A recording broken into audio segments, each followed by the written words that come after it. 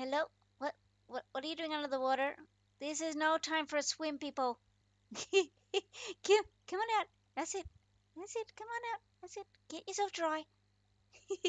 That's the fun of being on Creation Bay. There's lots of water. Welcome to Creation Bay, people. Yeah, we're going to check out um, some of the builds. We're going to do a building ourselves. It's going to be fun. Oh my gosh, I love this place. Yay!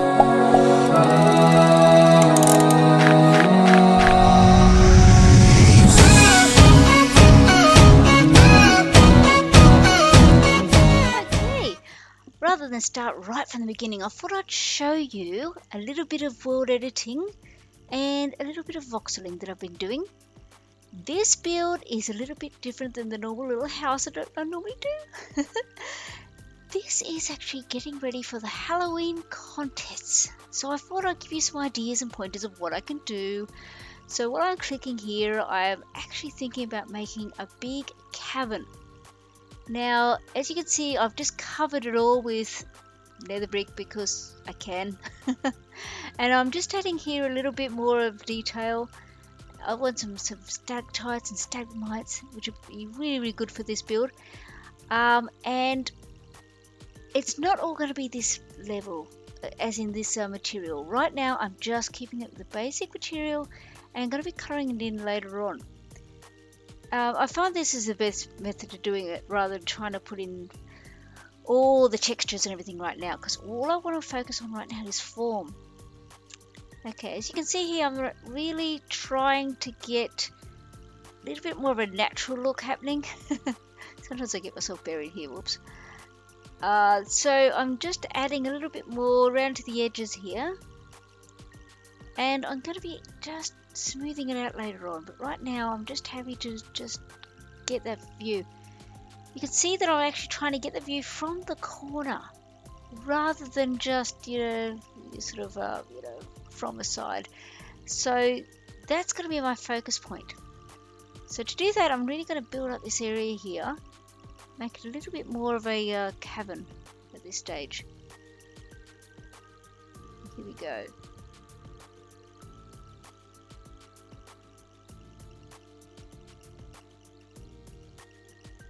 I really want it to be interesting when you look inside from this view. At the moment, it's not so great. Bit of a... Oh, that's enough of that. okay, so that was just using the world edit, which... Um, okay. But, I prefer to get the old arrow out and do some work with that. So I'm going to make a ball. Yes, um, it's going to be air and it's going to be about size 4. I just want to start breaking into the ground a little bit. So I'm just going to do that for a little while. Um, that means I can make this cavern that I'm making a little bit more uh, interesting. I think I'm going to totally cheat here, make it for size 8. Really dig down a bit deeper as quick as I can. There we go. Now I think this might go outside the plot with voxeling, so I, I just gotta be careful not to, you know, kind of destroy the um, outside areas. so I'll just make some nice little holes here, just like that. And this is going to be the front area, so I'm going to actually break this down a little bit, I think. I Have this more of a whole sort of area,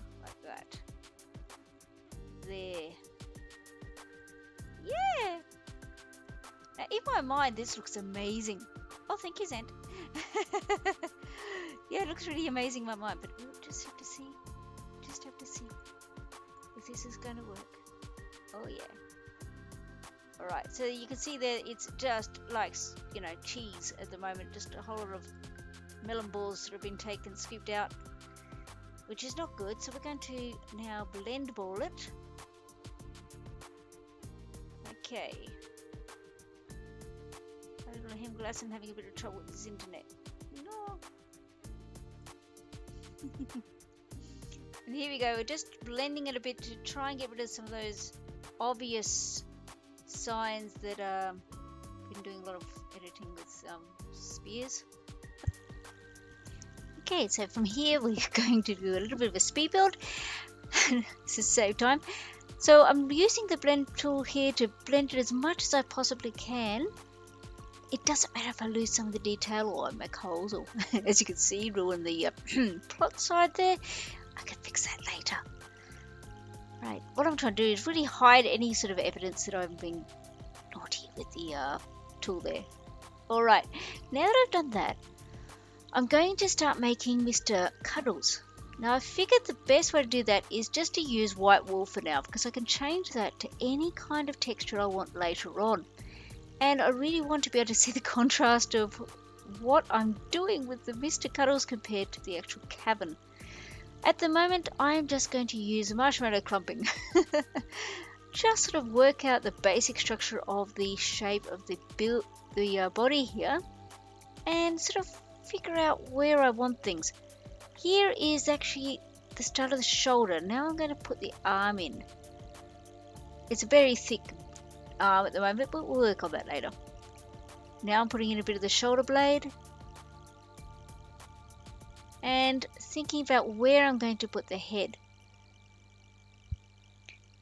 So right now I'm going to put in the basic structure of the second arm, which is going to be just down underneath. Now it's time to do some blending. We're going to blend this as much as we possibly can. Here's the back, so I want this as flat as possible. Bit of the tush tush there. so it's working rather well. The arm gets a bit derpy here, but that's okay. Got plenty of time to work on that. Right now, all I want is basically the structure there. Absolutely love the blend tool. It does take away a lot of sins there. There we go. There's a straight of a, a leg coming out there, and that's going to look fine. Okay. Again, not really concerned too much about the structure. I mean, look, I almost just lost his arm there. so I'm just going to quickly put in some extra little balls there, size 2, just to build it up again a bit, where I lost a bit of his uh, flesh. Yeah, I was happy with that, just for now.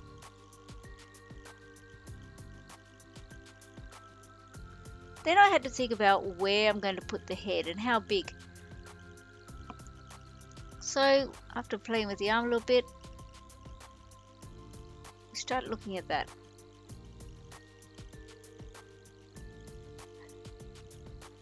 Best way is just to make a sphere. So I made a wall sphere, and I made size 6, so that's 12 across.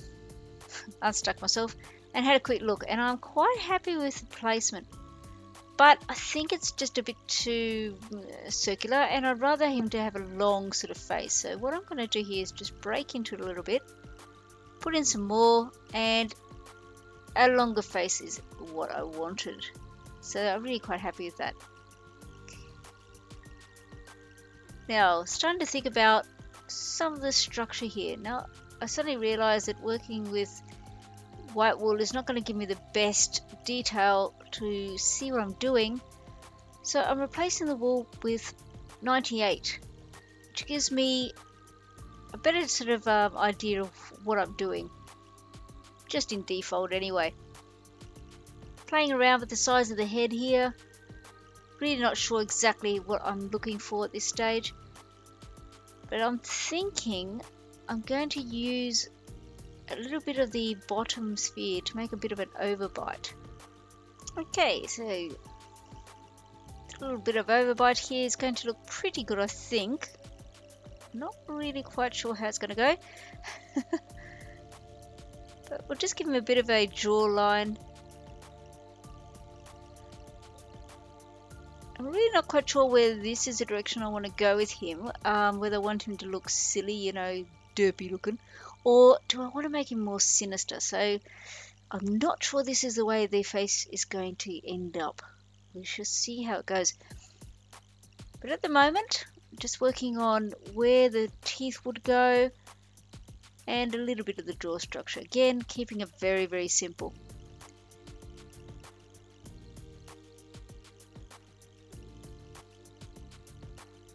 Okay. So now I'm just going to come and work a little bit on this arm, which is annoying me. And I really want to um, start working on the anatomy a little bit. Getting a bit of an armpit happening there. Holding breath, of course.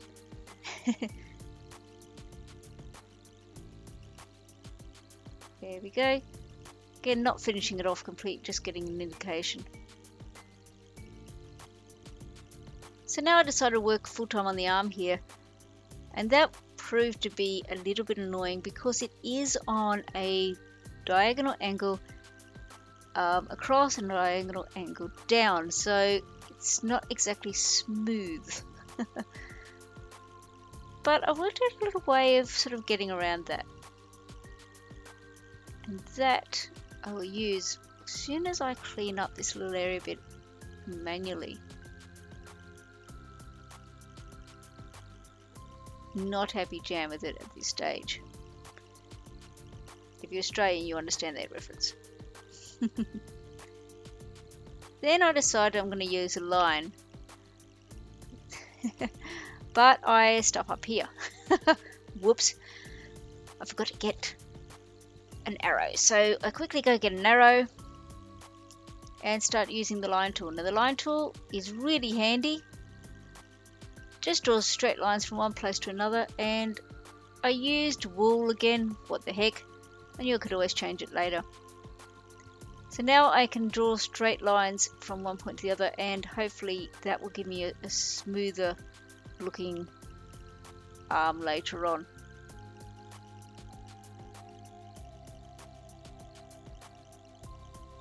So now I start working on the fingers not realizing of course that I was building the thumb on the wrong side. But that's okay. It wasn't until I was completely finished when I realized. I blame it being um, midnight on a Friday night trying to build. okay, so there's the, the fingers starting to appear now. Trying to work out the widths and, and direction and all that sort of thing. They're not easy. But the really good thing about monsters is, well, they can be any shape and form. So I can of cheat here and still, still make it look pretty good. Did you notice that? I broke into the other plot. Oh yes. So I decided at one point there to claim that plot and make it my own.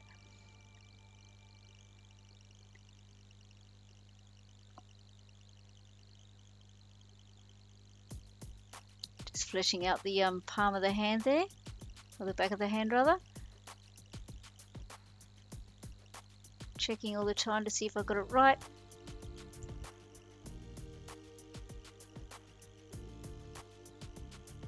Realizing of course this thumb is not meant to be there. Well maybe this, this monster was a bit, you know, backwards, but that's okay.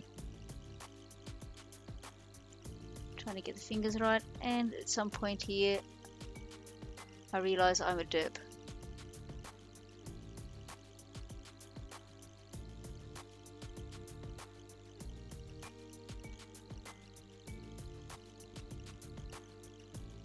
Not yet, obviously. I decided I'd better fix up that um that road before somebody saw it.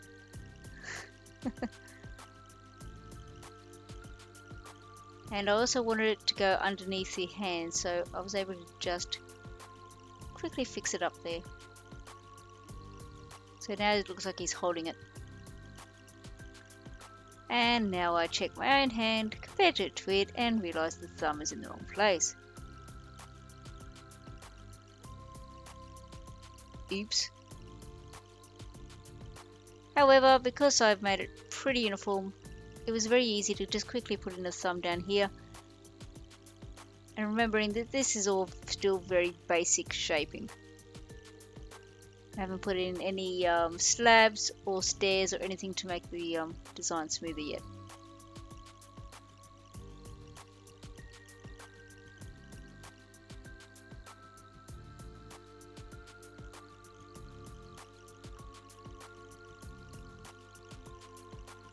Still trying to get the idea of where that finger might go.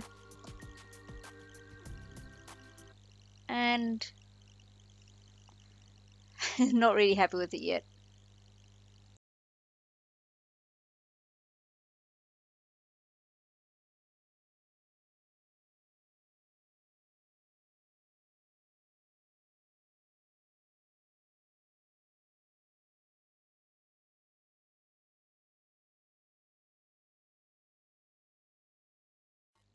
Okay, so there you go. There's Mr. Cuddles so far. I will stop it there and continue that next episode. As you can see, we've got quite a bit done this episode. Mr. Cuddles coming out of his lair, which we will decorate later on. Uh, we've got the basic shape of the creature. A lot of work to be done on it yet. I mean, that's quite still quite derpy. Um, we've got a basic shape of the head, which will, I think, change a heck of a lot. Uh, so until next time, from Mr. Cuddles and I, bye!